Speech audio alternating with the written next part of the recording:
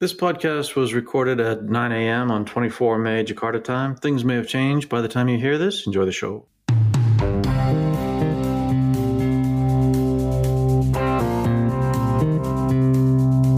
Welcome to Reformasi Dispatch. I'm Jeff Hutton, regional correspondent for the Straits Times of Singapore. And I am Kevin O'Rourke, writer and producer of the Reformasi Weekly Service on Indonesian politics and policymaking. Kevin, welcome back. We were off last week for Lebaran. Yeah, that was a long break, and uh, now there's just a pile of news to talk about. It has it has avalanched on us. Can we see that? Can you say avalanche? Absolutely. Yes. yes. Well, we can't hear. It's Mon- Monday morning. Um, well, in the news, we have Puan poo pooing Ganjar. Uh, we have yes.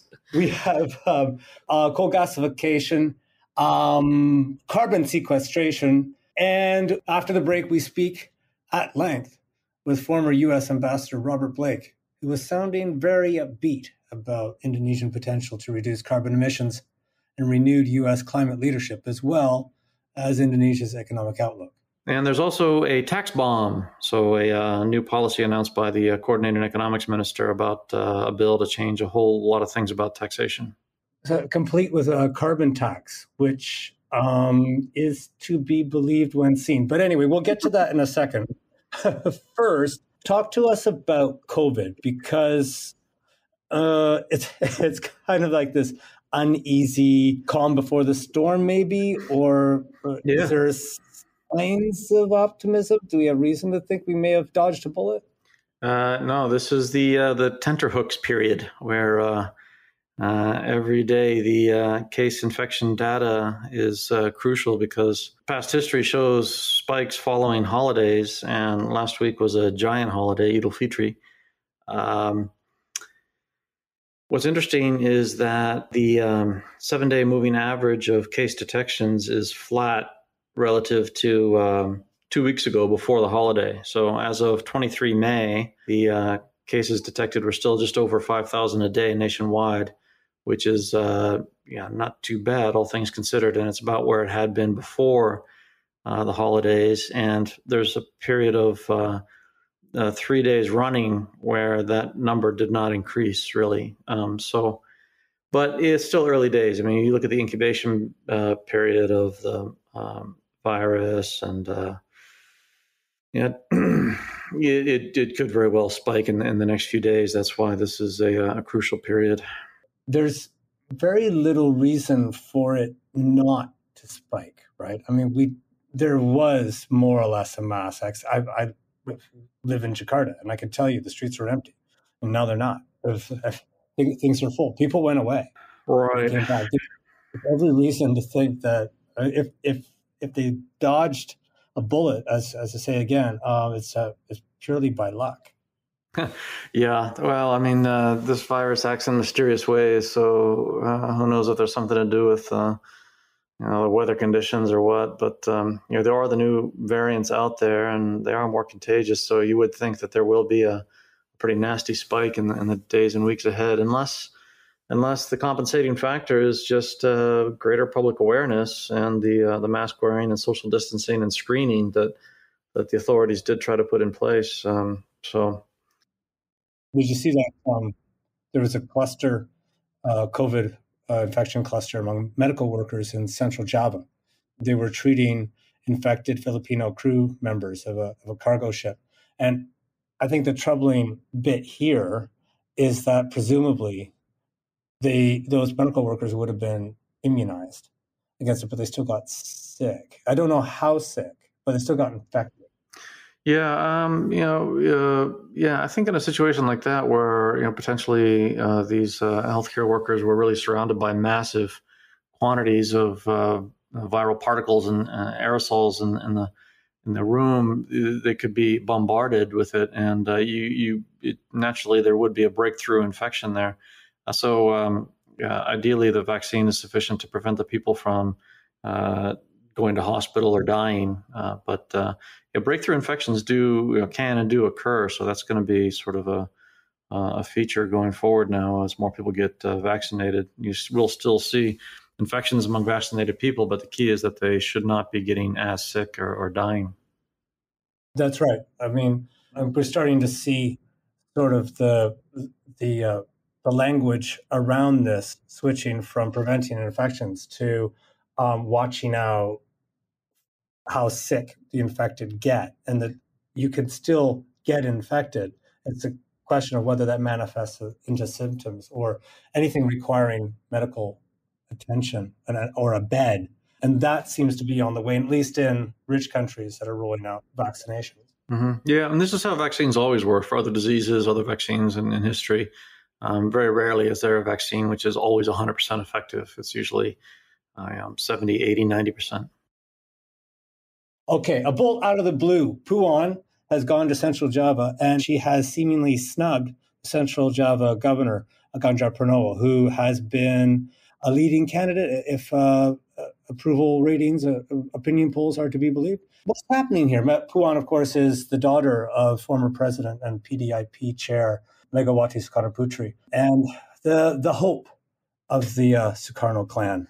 Mm-hmm. Well, um, Reformasi Dispatch listeners will be well aware that uh, you know one of the political issues is uh, Ganjar getting the backing that he needs from PDIP, and the tensions there with Megawati being potentially jealous of his popularity, and uh, that indeed does seem to be playing out. Uh, just uh, just uh, two days ago, uh, Puan Maharani visited uh, PDIP cadres in in Central Java and uh, pointedly did not invite Ganjar, who's PDIP figure, who's the governor of that province. Uh, so clearly now there's a uh, an open rivalry between Puan and Ganjar, and also Puan's supporters have been bad mouthing Ganjar, basically complaining that he's so active on social media and he has so many social media followers, uh, as if that's a bad thing. uh, so um, this is disturbing. This is problematic. It, it, it uh, suggests that uh, Megawati and the PDIP leadership may be intent on matching Puan with Prabowo of uh, Gerindra on a ticket with Puan as the running mate. And um, and if that were to happen, then um, it would remain to be seen whether a couple other parties would then pick uh, Ganjar uh, to be their nominee, and that could be Golkar and uh, Nasdem. What do you think is is the um, incentive for all this? Just, I mean, because Puan has about as much chance of becoming president as I do, or vice president for that matter. yeah, yeah, that's right. Uh, yeah, most polls uh, show her somewhere in between the uh, zero to one percent support level, so somewhere in that range of zero to one.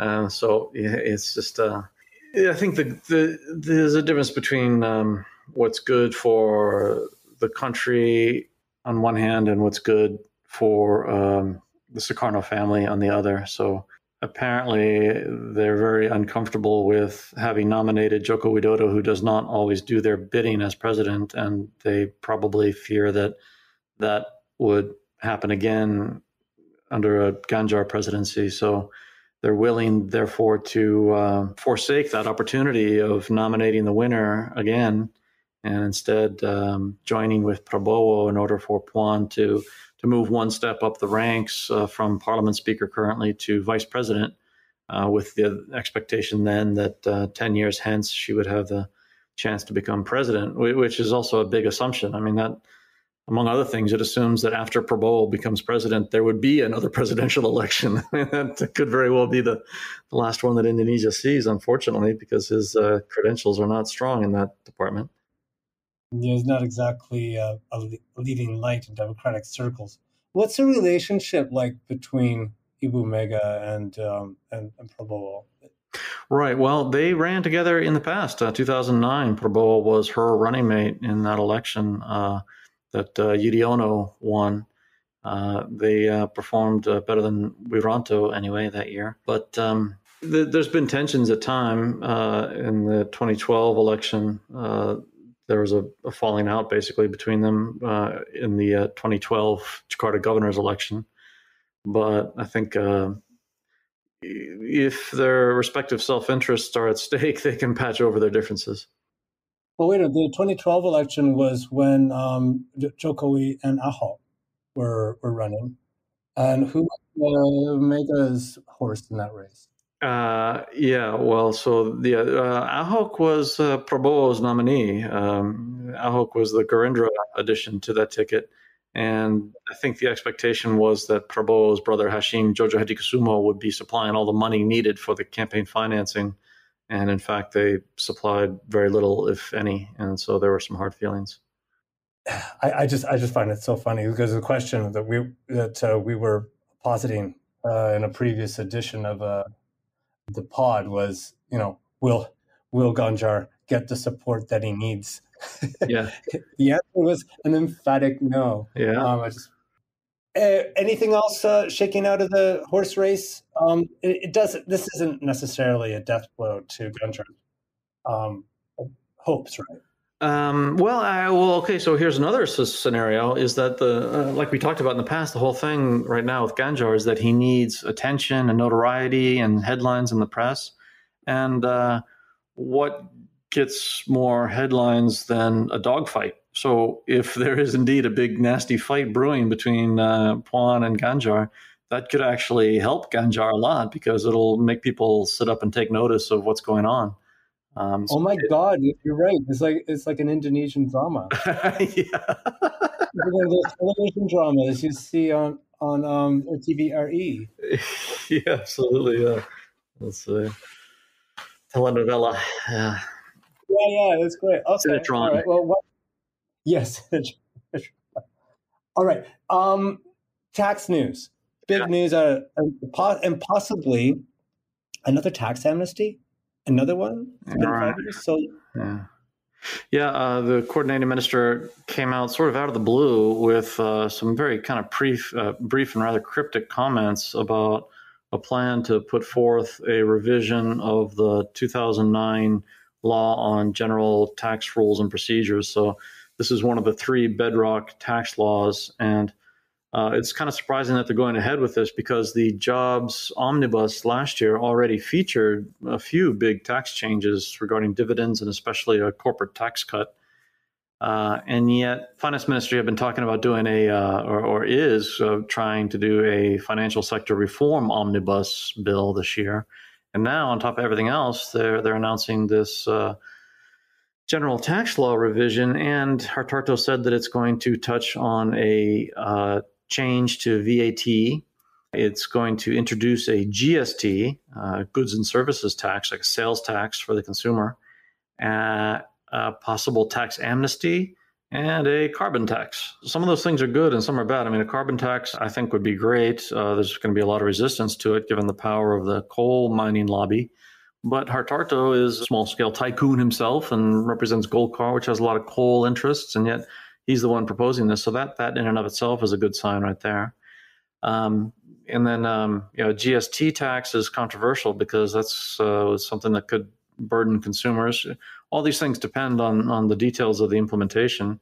Uh, a VAT revision is probably a good thing. You know, slight upward revision to the VAT is would help the government uh, get the added revenue that it sorely needs right now. The tax ratio that Indonesia has is extremely low. It's very hard for a developing country to develop with a, a tax ratio as low as Indonesia's right now, which is around 11% or so, I think. Um, so the, the but the real controversial thing is the tax amnesty because there there already was one in 2016 2017 and basically people who had been avoiding or evading tax uh, in the past were able to suddenly declare their wealth in exchange for a uh, 2% redemption fee, and their past uh, evasion would therefore be forgiven. So that needed to be, should have been a, a once in a lifetime event. And now, already five years later, they're talking about doing it again. so uh, it, it would make nobody ever want to pay tax again because you you just wait around for the next amnesty when you get to pay two percent instead of thirty percent. Yeah, yeah. Is there?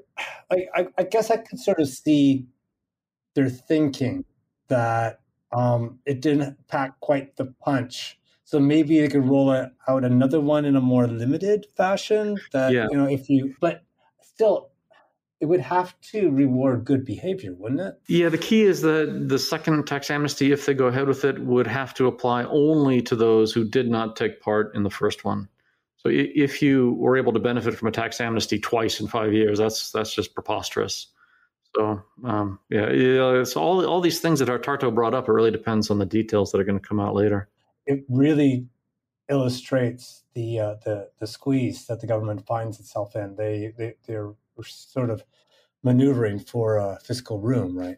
Right. So yeah, there, there's a there's a dire need for revenue right now because there's all sorts of spending priorities, um, and the president is still talking about moving the national capital for that matter as well. So yeah, and you know revenues are, are down this year, um, uh, but nonetheless, the problem is is really uh, collection. Uh, it's not necessarily a problem with what's written in the tax statutes. So to go back and rewrite the tax statutes is arguably the, the wrong solution to the problem because no matter what's written in the statute, it's you, the collections are never going to happen if uh, personnel and the uh, uh, Director General of Taxation uh, uh, continue to suffer uh, investigations for corruption, as happened just two months ago. The the key figure, the director for tax extensification, became a KPK suspect in a, in, a, case involving you know, the Haji Isam, the uh, the uh, notorious uh, coal miner in South Kalimantan.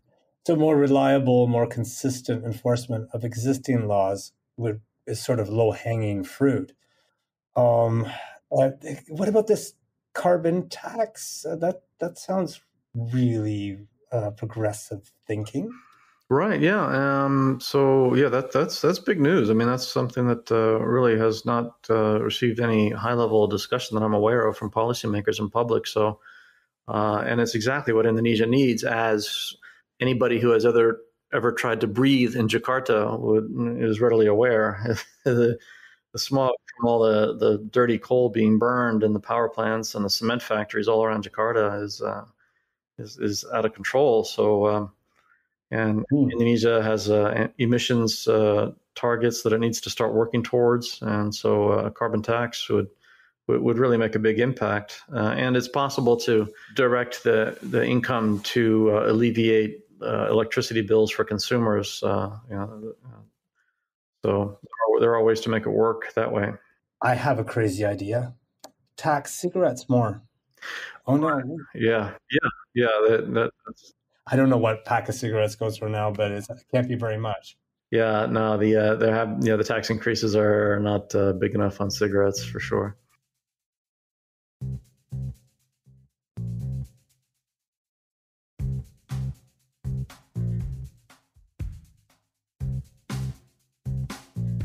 Hey, everybody, this is Kevin O'Rourke here. Uh, I want to tell you about the Reformasi weekly service on Indonesian politics and policymaking. If you haven't uh, checked it out, go ahead and sign up for a free trial. There's a button to do so on reformasi.info, my website. You may very well like it. If you like the podcast, uh, you're probably going to like the report. Uh, the only difference is that you'll have to actually actively read it instead of just listening to it. Uh, we've got all sorts of subscribers uh, major embassies, donors, banks, resource companies, NGOs, journalists, universities and uh, individuals who are like uh, retirees or students, uh, yeah, uh, entrepreneurs. So uh, reach out, get in touch, and uh, there are discounts that are available depending on your category. And it's a, it's a unique resource, I can say that. there are some copycat products out there now, but I would recommend that you go with the original.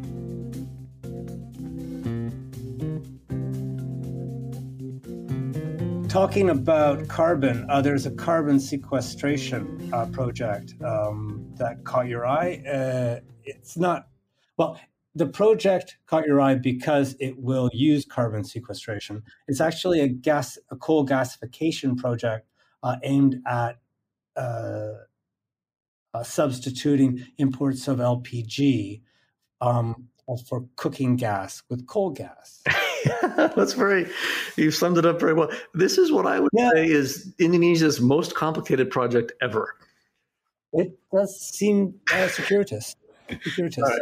So basically, and uh, you know what, what I also found interesting about this is that right now there's so much uh, discussion of the Grab SPAC, and there's a you know, forty billion dollar valuation for this uh, ride-hailing company that uh, is a super app, and uh, all the attention is focused on the digital economy, and yet there's a real problem out there, uh, unresolved, which is uh, how to make cooking fuel affordable for an average family. That's a huge problem in Indonesia. Electricity is, is not a possibility for families. Uh, natural gas pipelines uh, that, are available in developed countries uh, don't exist. That's still a long way off in Indonesia. You know, firewood and, and charcoal are terrible alternatives. So, uh, for years under Suharto, Indonesia had provided kerosene. And then uh, 15 years ago, there was a switch made that was a, a good switch to uh, LPG. And so that's the cooking fuel that's used ubiquitous, but 70% of houses use it. It's ubiquitous. Um, but it's um, most of it, uh, three quarters of it is imported, and the price has gone up, and the subsidy that the government spends is huge. Uh, about three quarters of the price is subsidized. So the idea here is to take dirty coal from a state coal company, PT uh, Tambang Batubara Bukit and convert it into uh, syngas, and then convert the syngas into dimethyl ether, which can be used as a cooking fuel as a substitute for LPG. So that's the idea. And um, the the uh, problem is that when you do that, a couple things. One, the, the DME ends up costing more than the imported LPG. Yeah. So it doesn't save you any money in terms of government subsidies, but uh, it does substitute an import. So it, it saves some foreign exchange. Uh, it helps the uh, current account balance. Incredibly dirty. It's got to be. Yeah, that's the other problem is that it uh, there's an NGO, uh, the AEER, a domestic NGO that calculated that this uh, uh DME or dimethyl ether will have five times the greenhouse gas emissions of combusting LPG. So that's where the uh, CCUS comes in because there weren't enough acronyms to begin with. So uh, this is a carbon capture, utilization, and storage. And ExxonMobil is going to be providing this. And this is going to be uh, Exxon's, probably Exxon's biggest foray overseas outside of the US in uh, carbon capture, if it goes to plan.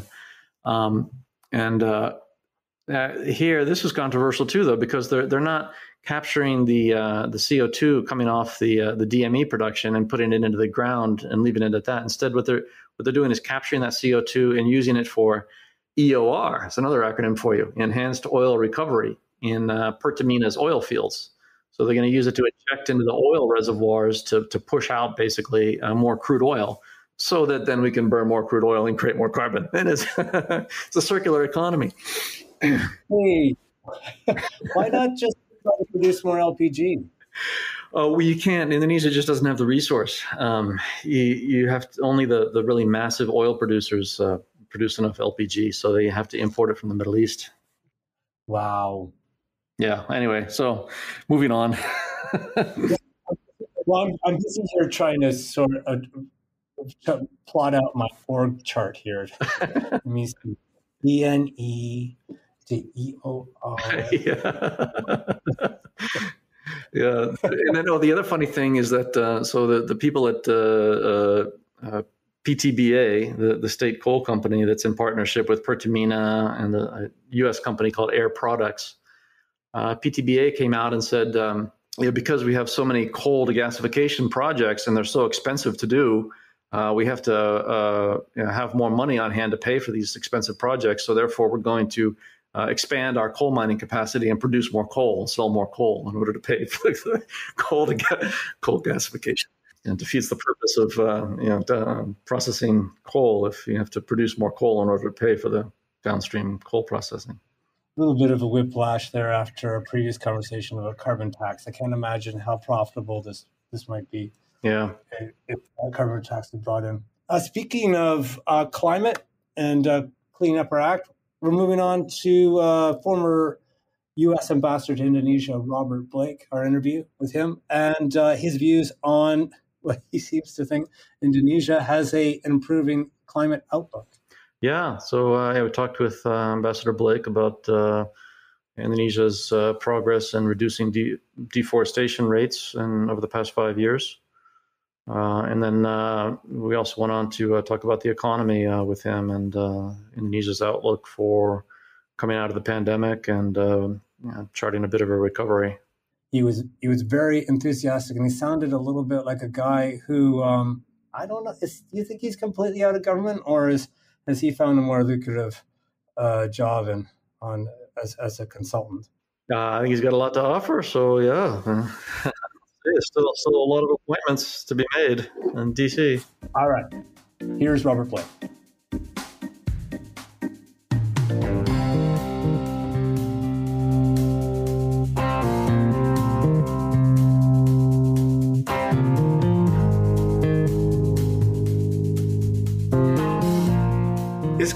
Career spanned 31 years in the U.S. State Department before becoming ambassador to the Maldives and Sri Lanka, and then ambassador to Indonesia from January 2014 to July 2016.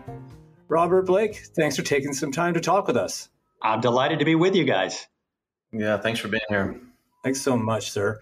You, you popped up on our radar because you wrote an op ed last month in the Jakarta Post uh, that um, I'm going to tell you, it shocked me. I was stunned because uh, it was borderline good news. You know, we get so little of it. Um, but uh, more lately, but still, um, you, you, you, pointed out in the op-ed in, in the Jakarta Post um, that the rates of deforestation have fallen in, in Indonesia for uh, four straight years. Not so in, in, other parts of the world, but Indonesia is doing quite well. Forest cover uh, to fire is about a tenth of what it was in the bad old days in 2015. You'll remember that during the, the worst fires uh, that Indonesia saw since the late 90s. And you, you, you rightly credit, in my view, uh, the moratorium on clearing primary forests and um, the moratorium on clearing land for, for oil palm. Um, uh, how is this track record being viewed from where you are in, in DC? Uh, well, you're working in DC. Um, and I'm curious what why you felt the need to put pen to paper to point it out. Well, um, first of all, thanks for asking because I don't think this gets enough attention in general. What's going on in Indonesia? And I think you know there has been progress. I think Indonesia has been under the gun for a long time, and I think it's important to recognize progress when it does occur. And to be sure, there's still work that needs to be done. But um, as you say, I think the, the, the steps that President Jokowi has ordered, the, the moratorium on the clearing of, of both forest and peatland, and as well as the moratorium on new oil palm licenses, those are, have really had an effect. And, and we've seen that as well as, as this really important uh, progress on, on the fires. As you say, in 2015, when I was there, uh, they were estimating that the greenhouse gases that were being emitted as a result of the fires in Sumatra and Kalimantan were the equivalent of Germany's yearly greenhouse gas emissions. So it gives you a sense of the of the scale of what was happening there. And uh, so the fact that they've been able to bring those down by 90%, I think is important. And they are making an effort on the enforcement side. And also, I think there's there's uh, private efforts underway. But you know, a lot of the big forest companies are are putting in place incentive programs to encourage the villages uh, on the borders of these big areas to uh, to put out fires, uh, and, mm. and I think that's had an impact as well. So, what's your involvement then, since you you left the, the State Department? You're, you're with McLarty Associates. What's um what's what's your involvement? How, how are you uh, so I, I, kind of do. I have kind of two different things. As you say, uh, with McLarty Associates, I, I, I really I had the Southeast Asia program, um, and I really our our job is to hopefully bring help bring new business to to the region, but also in some cases to help uh, some of the the companies in Indonesia, um, maybe to go and seize opportunities elsewhere. So. For example, one of one of the interesting work that I'm doing right now is uh, I'm advising the Roundtable on Sustainable Palm Oil. Um, as, as, you guys may remember, when I was ambassador, I worked a lot on sustainable palm oil, and we um, fashioned a an initiative with uh, a lot of the big palm oil companies to get them to agree to stop clearing primary forests and, and, and peatland, and to uh, to the extent that there would be new planning, it would only be on previously degraded land. And you know, I learned a lot from that mm-hmm. experience, and so it was kind of a natural segue to then work with RSPO, which is uh, probably the top certification mechanism that exists in the world now. And so we're helping them to kind of uh, build up a little bit their government relations function because they're not very good communicators. They, they do a lot of great work, but it's not necessarily widely known. And we also want to help them uh, position themselves for the very, very important meetings uh, that will take place, uh, the COP26 meetings in Glasgow in November. So that's the kind of work we do. And then I also work on a pro bono basis for a lot of the big environmental groups. So the World Resources Institute, which uh, runs, among other things, Global Forest Watch, this great satellite monitoring mechanism, but also groups like the World Wildlife Fund and and uh, and so forth. And mostly, I help them in Indonesia in one way or another. And I've also been in touch with the Kerry team about uh, advising them on working with the Indonesian government now as they prepare their nationally determined contribution. Are you working with John Kerry, the former? Uh, the, the, the, former yeah, I mean, exactly. I'm very informally. I'm not an official advisor or anything like that. I All just, right, he's, he's, not sending you WhatsApp messages. No, no, he's not. can you, uh, but uh, can you uh, give us any insights into uh, what they're thinking uh, with regards to Indonesia? Well, Indonesia is one of, a, of about 20 countries or so uh, with whom they have set up uh, basically a, a, bilateral task force to work through how uh, the U.S. can help uh, these 20 countries that represent some 80% of, of, global greenhouse gas emissions, how they can help them to uh, raise their ambition uh, of their of their nationally determined contribution and further reduce their emissions pledges for what they hope to achieve by 2030. So, uh, so they're they're they're engaged in a very very detailed process now, uh, chaired by Minister Luhut, the famous uh, coordinating minister, uh, and Kerry on, on on the U.S. side, and then the people who are doing the day to day work are are just one level below that, and sort of Deputy Foreign Minister Mahendra Siregar, who is a former uh, ambassador here, uh, a very capable guy um, and then a deputy minister of environment and forest, Ibu Nani. So they're, you know, they're, they've got a very, very detailed work plan that they're working through. So I, I'm, I'm encouraged. I think there's going to be some, some real progress here, and I think the U.S. is kind of leading the way in, um, in helping Indonesia to think through what more they can do. And you know, it's it's interesting. You know, if if you had told me in 2015 that I would hear of senior representative of PLN, the, their um, power company, um, say that net zero emissions in 2050 are possible with innovation and finance, I probably would have fallen off my chair. But yet, that's what they're talking about now. So I think it's there's just a huge change in in mentality and a huge change in understanding what the opportunities are in Indonesia. Now, to be fair, they've got still some serious challenges. The, probably the most serious one is how, how are they going to wean themselves off coal, since that still accounts for a large percentage of their greenhouse gas emissions. But again, the group is working on that. And, you know, the market is speaking. Um, we've seen that the, the Koreans and the Japanese, for example, who have been major sources of finance for Indonesian coal, uh, have announced that they're no longer going to be providing financial support for overseas coal projects. And even China.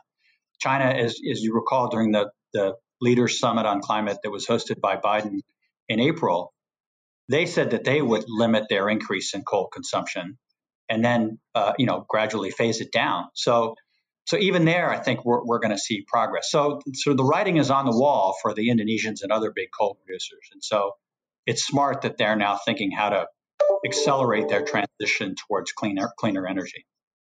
Okay, yeah, I think um, yeah, this is interesting because there's certainly a lot of apprehension on this point, uh, considering the institutional interest at stake. Yeah, and the, the, coal sector is represented in the cabinet. The Luhut himself owns coal mines, uh, and then the, the, new designated ambassador to the U.S., uh, Rosan Roeslani, is a coal mining executive as well.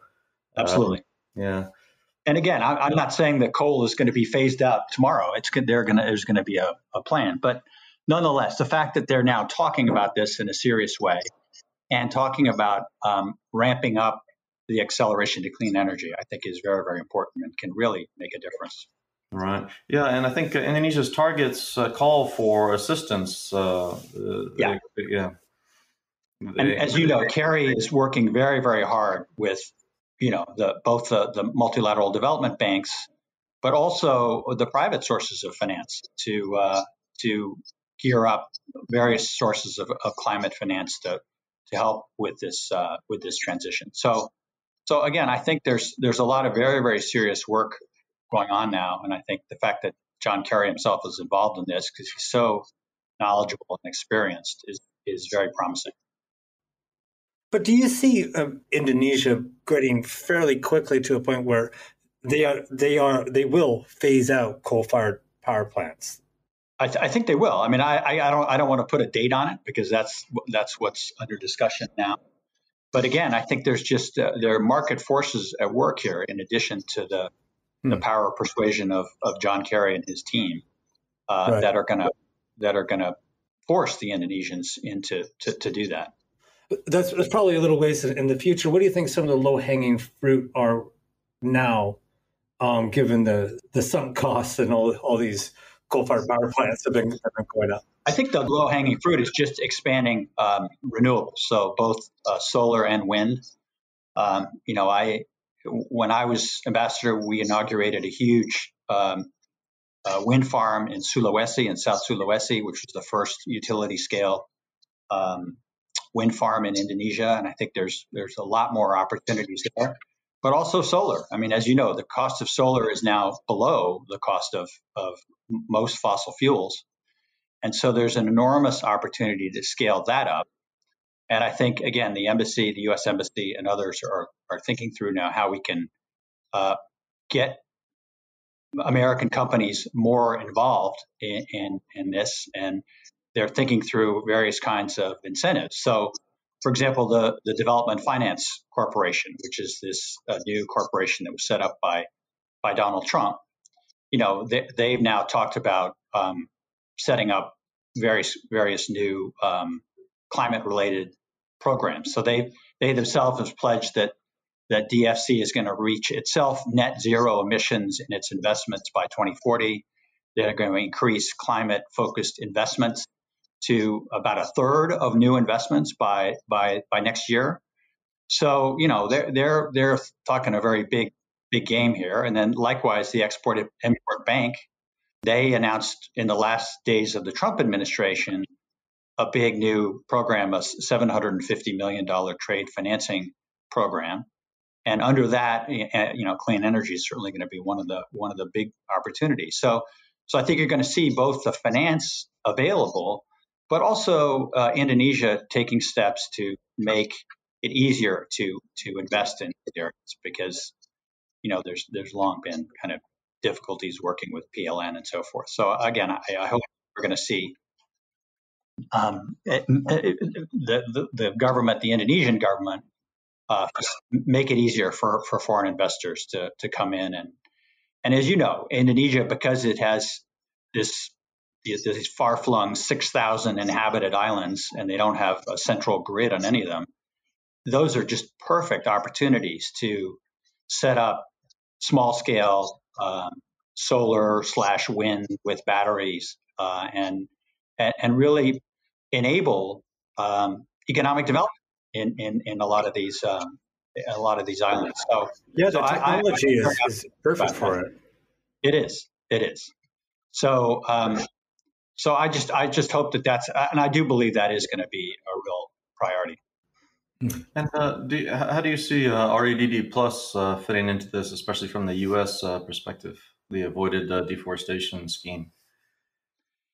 Yeah, as you know, there, has been some some friction between the Norwegians and the and the uh, Indonesians on REDD Plus and the and the whole payments system. You know, I hope they can they can resolve that. Um, there, it's been a little bit tricky. Um, so, I, you know, I hope we can get beyond that. I think there there are now new opportunities that are that are coming up. So, one, one of the interesting ones is um, something called the LEAF program. I don't know if you guys have heard of it. It's, LEAF stands for Lowering Emissions by Accelerating Forest Finance, basically. The, the F part is left out.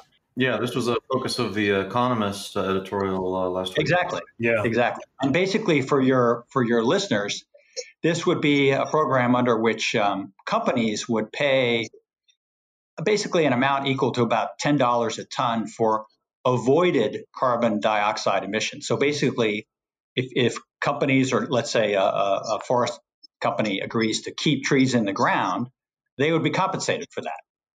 Uh, and then and if it's a country that owns, uh, let's say, a, a given area, uh, and it's, let's say, you know, state land of some sort, they would also be paid. Now, the, the catch would be that th- these, these would only be paid out after showing, um, you know, five years of progress. Um, so there, there is there are some some serious benchmarks, but nonetheless, these are the kind of innovative financing schemes that are coming online now.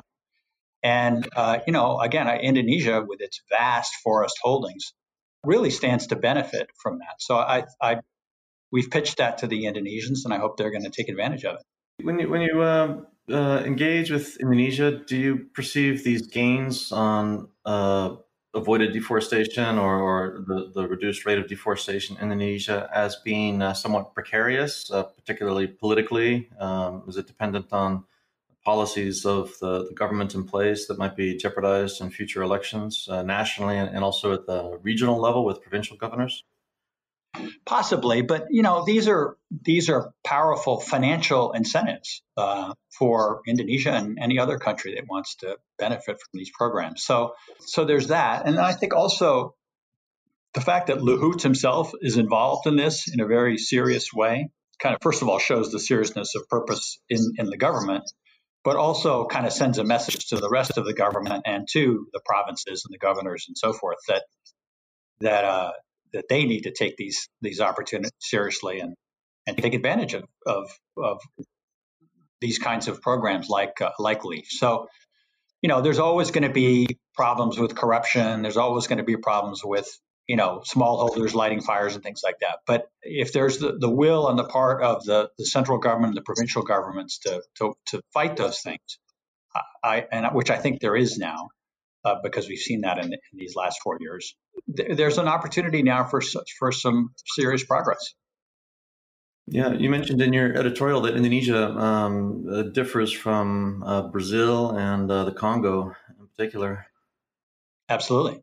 I mean, Brazil, as you know, has really been a disastrous story this year and, and last as well. So it does contrast very favorably. And, you know, Indonesia, um, they're going to be the G20 chair next year, and then they're going to be the ASEAN chair the year after that. So they've they've already said that they're going to make climate one of their one of the poles of their um, priorities, which I think is is really important and great. So so they have kind of on the hook now themselves to to show some leadership on this issue.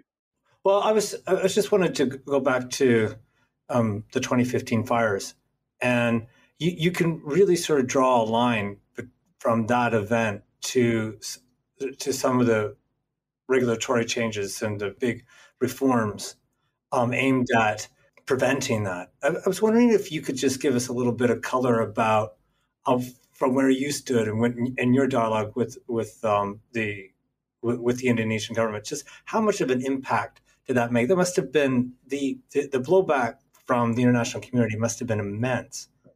It was. Um, you know, there, as I say, there was there were many many articles in the press about this statistic that uh, of the emissions that were being released from these fires was the equivalent of, of what Germany was putting out in an entire year. So that I think was a, a, a kind of embarrassing for the, for the Indonesian. That I'm not even sure they really understood it at that point. What a what a massive uh, scale they were dealing with. Um, but you know they had they had some some powerful incentives here. Their neighbors, the the, the Malaysians and the Singaporeans, were were very upset about this. So this was becoming an inter ASEAN issue. And don't forget, the 2015 was also the year that Jokowi went to uh, to the White House to see Obama. So um, and oh, we had signaled to them in, in the run up, you know, we you, for a big visit like that, you start working on the so-called deliverables about six months ahead of time. And so we had signaled to the Indonesians that, that the fire issue was going to be a very important part of the conversation and that we were prepared to, to do what we can, you know, both through uh, working with groups like WRI, uh, Global Forest Watch, but also um, extending uh, technical support through the through the U.S. Forest Service. I mean, after all, we in the United States have our own huge fire issue every single year because of climate change. We see these fires that are now taking place in California and really most of the West. So we've developed some some pretty good experience uh, in the Forest Service and how to, first of all, detect those fires as early as possible and and think through how to how to combat them in more in a more serious way. Of course, in, in California, it's it's super difficult because they've had on top of all the other problems these droughts that just once a fire starts, it's almost impossible to put them out until you get some rain of some sort because the the, the wind and, and the dry uh, the dryness just makes it a powder keg. Well, President Trump said you just go out there and rake the forest floor and then you're done. I mean, uh, absolutely, absolutely. Yeah. it was the fault of the Californians, apparently. Yeah. California's fault.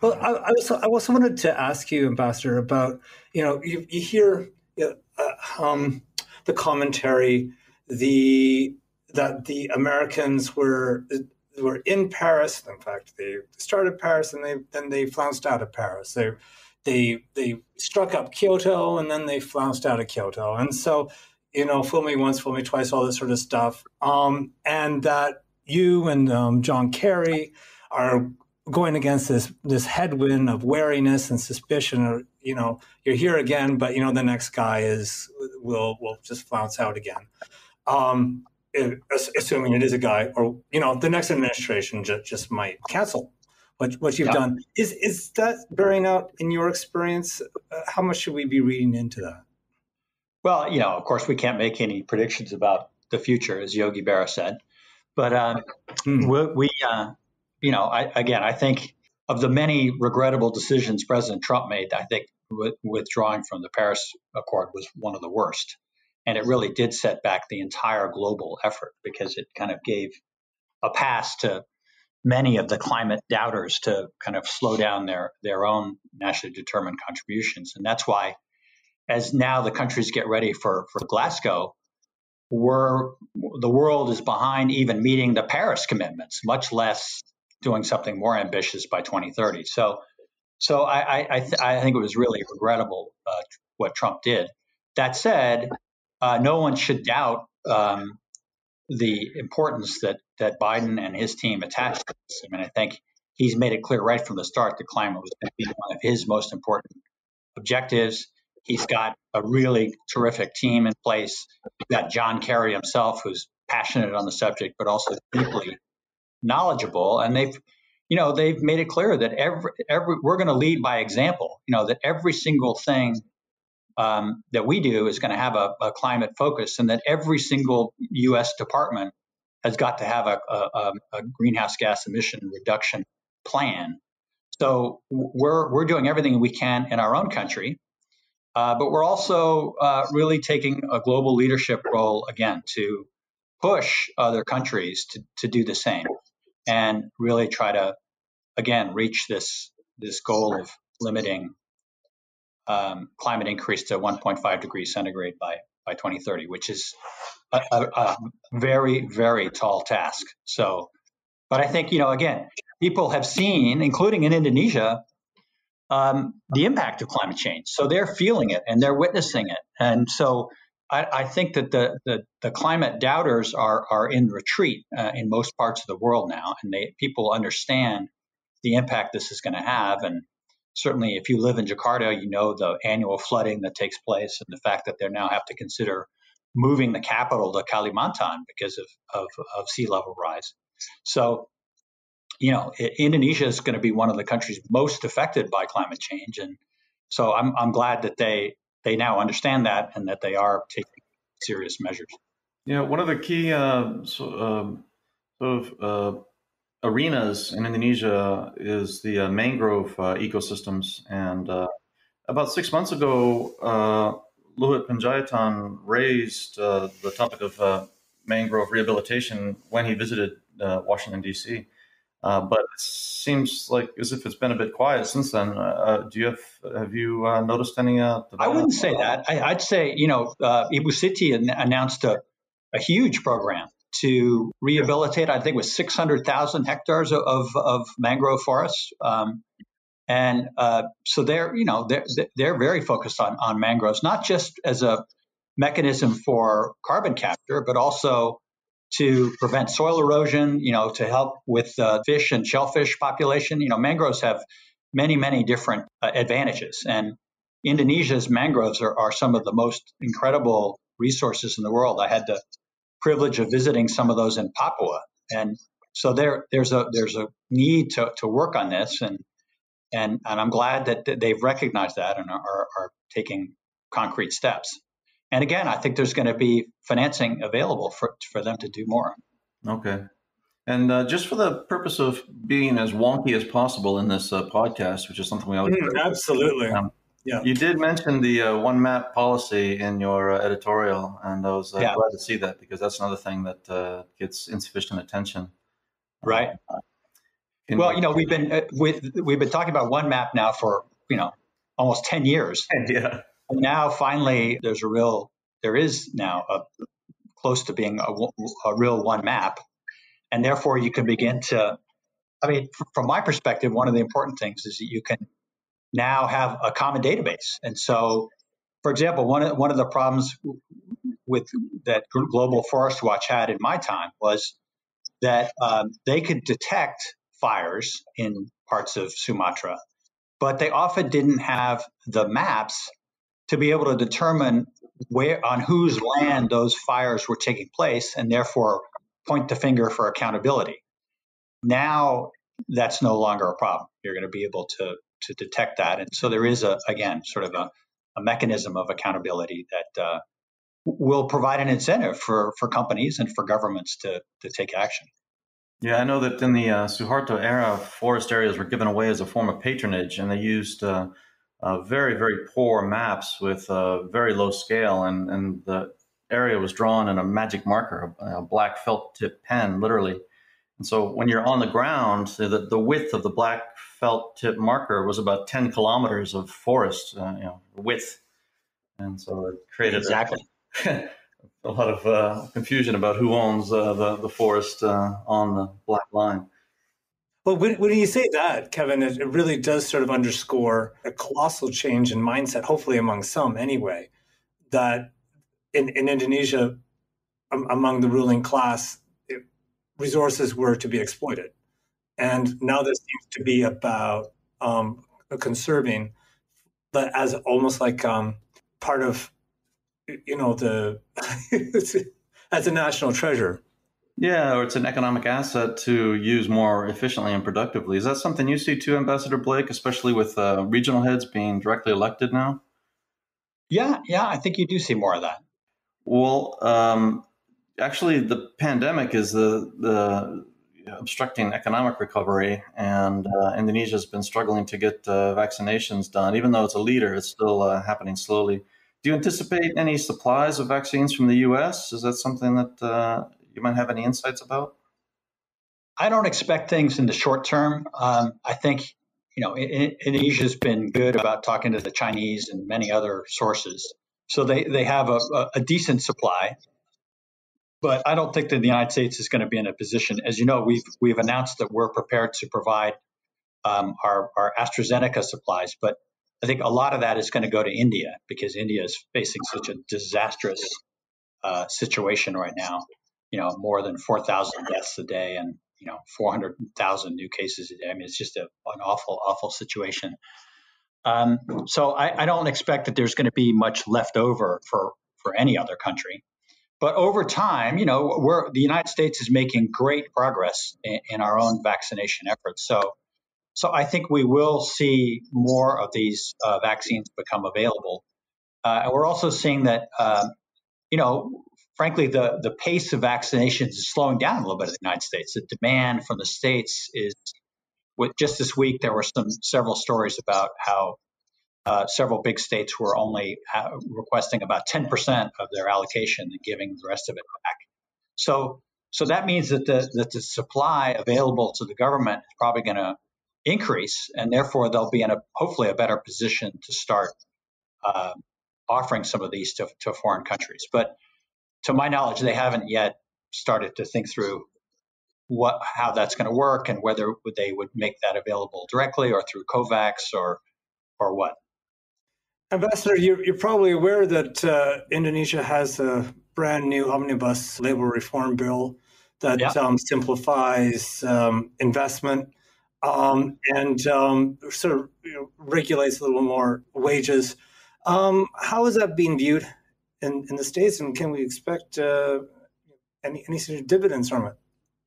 Yeah, you know, I think people here are are aware of that. I mean, I think um, the, the government, but also groups like the U.S. ASEAN Business Council are doing a very good job of, of explaining how this really is quite an important uh, step that they're taking. That and and you know the reform of the negative list, for example. So, you know, we're seeing that um, opportunities are opening up in areas like uh, pharmaceuticals, uh, hospitals, uh, for me, uh, th- that is just hugely important. Education is another one. Um, I was really happy to see that the first foreign university, uh, Monash University in Australia, is going to be allowed to open a campus. And so I'm one of my goals now this year is to try to see if I can get an American campus to come mm. and, and, open because in, Indonesia really needs that. You know, yes, um, they're they're taking a lot of steps to improve the business climate. But um, there's still one, one, of the big issues still is finding trained labor in, in, in Indonesia. So I think if you could help them to to uh, get the kind of training that they really need in this in the new economy. I mean, I, they've they've got plenty of decent universities, but hardly any prestigious universities offer courses in the digital economy, in e-commerce, in cybersecurity, in uh, you know, data management, uh, all you know, all of those things that are really going to be critical to the future of the digital economy in Indonesia. Uh, so, and so Amer- American and other foreign universities are very w- well placed to provide that. And now I'm, I'm happy that they're that the government's wel- welcoming that. And likewise, on the hospital side, you know, for for many years we've all been knocking our heads against the wall to try to encourage the Indonesian government to allow foreign hospitals to come in. And as you know, the, the very powerful Doctors Association in Indonesia successfully blocked that. But as a result, Indonesia has been hemorrhaging billions of dollars a year in service exports as Indonesians go to Singapore and Thailand and, and the United States to get the health care that they, a lot of which they could probably get in Indonesia if they had decent care. So the government's finally recognized that, and they are allowing um, hospitals to come in now. So I think, you know, once the pandemic really begins to ease and the Indonesians allow people, businesses to come in in a more, you know, routine way, um, I think you're going to see interest on the part of big uh, uh, foreign uh, university, sorry, foreign hospital groups uh, to, to examine opportunities. And the um, in, influx of investment from China, um, in your mind, is uh, net positive or negative, or pros and cons? You know, it, it, it's it's mixed, uh, and obviously Indonesia welcomes uh, the investment that's taken place. China is both their largest investor, but also their largest trading partner, as is, it is for almost every country in the Asia Pacific these days. But uh, you know, at the same time, I think people are are a little bit wary sometimes of of relations with China. You know, they they worry about China's growing military assertiveness in the South China Sea. They chafe a little bit at the what they call the wolf warrior diplomacy. You know, the the Chinese diplomats now who kind of throw their weight around a little bit too much. People object to the Chinese requirements for allowing Chinese workers to come into these to these uh, to these various projects. And I think an interesting new uh, thing that I've been tracking is how a lot of the sort of what you know, sort of digital, digitally connected young people, not only in Indonesia but in places like Myanmar and Thailand, are are really more and more worried about democratic trends in Southeast Asia, and often see that China is really propping up a lot of these authoritarian regimes. So you see a real backlash by, you know, the Gen Zers and millennials um, against China, and you actually saw them trying to attack factories in Myanmar, for example, Chinese-owned factories. So so they're, you know, they're, China is having to kind of face the music a little bit in, in some of these countries now, which is good because they have been trying to promote their own kind of authoritarian brand of governance. And I think that's to people's disadvantage. Um, you know, the other area that I worry a little bit about is is is corruption. You know, I think corruption has often been a, a problem in Indonesia, and um, you know, a lot of the, the transactions that take place through the Belt and Road Initiative are are very difficult to to really understand. There's very little transparency about the terms. Uh, you know, what what how many foreign workers are being allowed, or any of that stuff, and so it's all a little bit of a black hole. And so, and then there's always the concern that the state-owned enterprise, the state-owned enterprise transactions might have some, you know, uh, provisions in them that allow for payments to officials on both sides. So, so that I think undercuts efforts to to promote transparency and accountability and you know anti-corruption efforts. Um, the U.S. Uh, tariffs on on a lot of Chinese goods has um, put a lot of um, attention or driven some investment out of China or caused caused companies to diversify some of their supply chain out, out of China yeah. up to Vietnam, to Thailand, and of course Indonesia. So a lot sort of rests, a lot, a lot of investment decisions rest on those tariffs. Do you see those sticking around under the Biden administration? I do. I don't. I don't. Well, I, not maybe not the whole administration, but as you know, um, Biden has said right from the start that he's going to take it slow on on uh, on trade uh, and and not make any big decisions until you know he, he wants first to to kind of get our own house in order, uh, which I think is the right thing to do. And so he's he said right up front, you know, he wants to get our improve our infrastructure. Of course, he wants to improve our own economic picture. He wants to restore the, uh, the our uh, the um, our our research and development programs. Uh, and then only then will they begin to think about, for example, new trade deals and things like that. And I think for the moment, as you say, he hasn't, he's just, he's kept a lot of these Chinese programs in place until they can sort out some of these other more, more urgent priorities like the infrastructure bill that uh, is now under discussion in Washington. And I, and I think that's the right thing to do. Um, and certainly, as you say, the, the Southeast Asian countries have been beneficiaries of that. I mean, I think it's one shouldn't eh, for for those who are listening. Companies are not going to leave China. China is too big a, no, a no. market and too important a market. What they're really doing is these companies are doing is just increasing their resilience so that they're not totally dependent on China.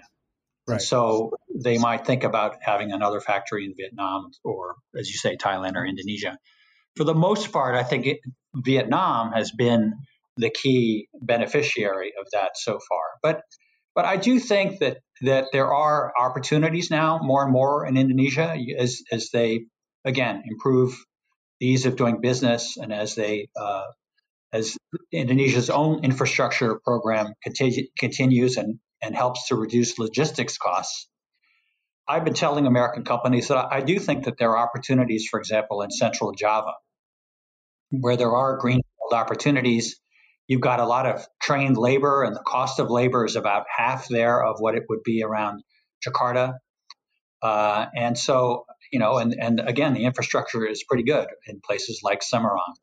So, um, so I, I do think that there are opportunities, and and I've you know shared that with American companies, but again, just for the moment, people are a little bit wary about traveling to Indonesia as this until the COVID is really over with. But but I do think we, are going to see more interest on the part of American companies, and part of that is on because of this energy opportunity. One more question, Kevin.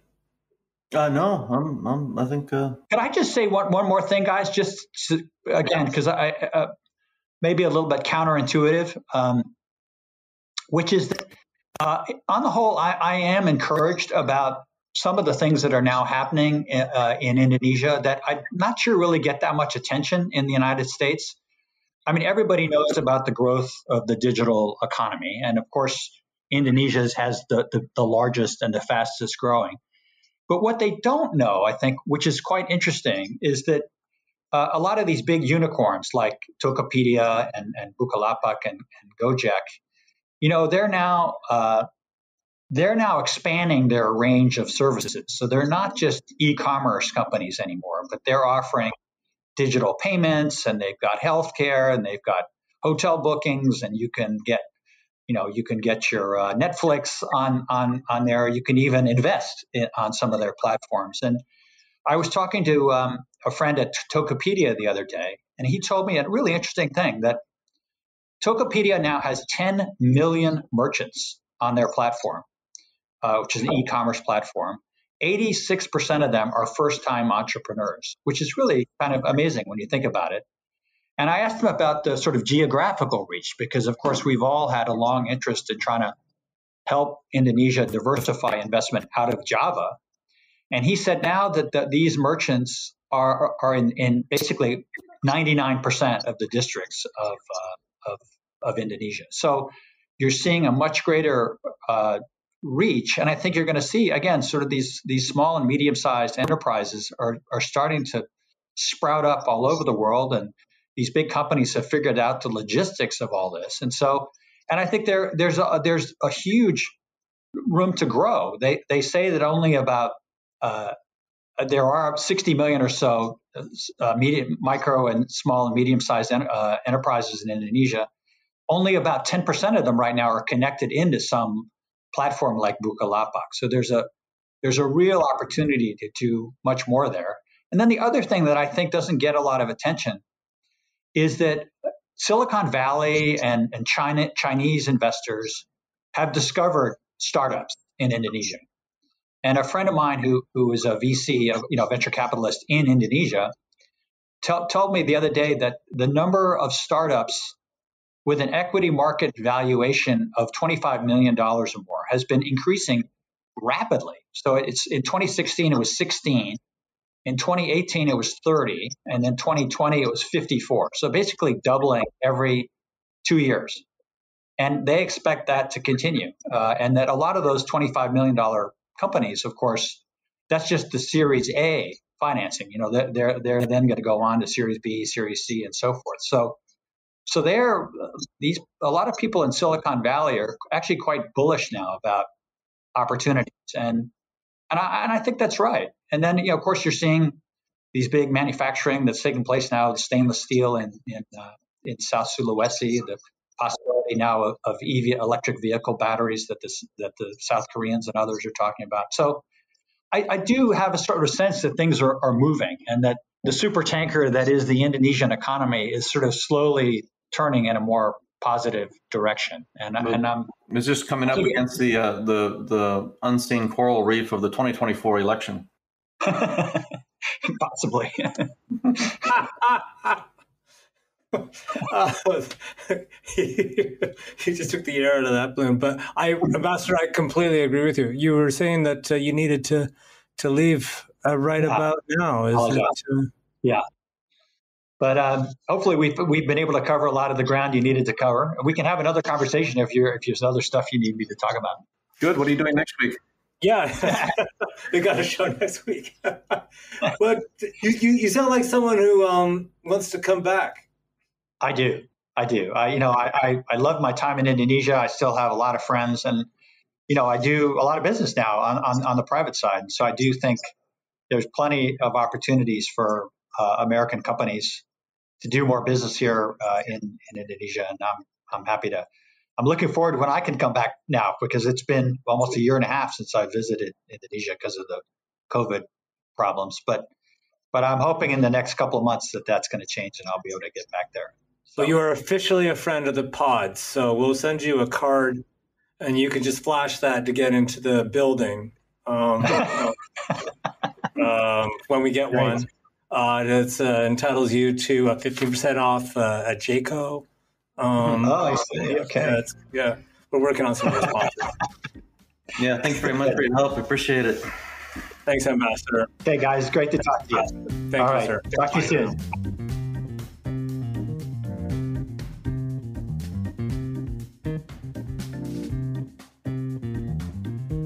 That's our program. Thanks to former Ambassador Robert Blake. As always, our producer is Stephen Handolko, editing by Aditya Akbar. Our music is by the Blue Dot Sessions. If If you like this podcast, please hit subscribe and rate us. It helps. Hell, even if you don't like us. Please subscribe. You can sign up to Kevin's Reformasi weekly newsletter at reformasi.info. This podcast is a production of On the Level Media. I'm Jeff Hutton. Bye for now.